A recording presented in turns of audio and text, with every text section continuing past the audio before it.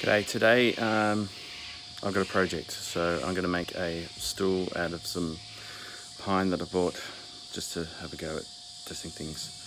So I've got a template. And the goal is to cut this template out of a piece here, um, a piece of pine like that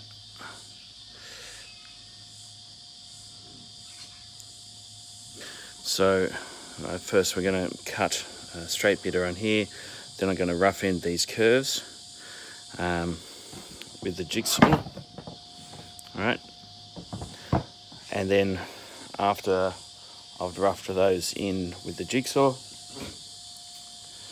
I'm then going to use this bit on the router. And the idea is the bearing will follow the MDF template that I've got here and the cutter will make sure that the pine has the same shape as the template. So wish me luck, that's the theory and I'll show you how I go in the process.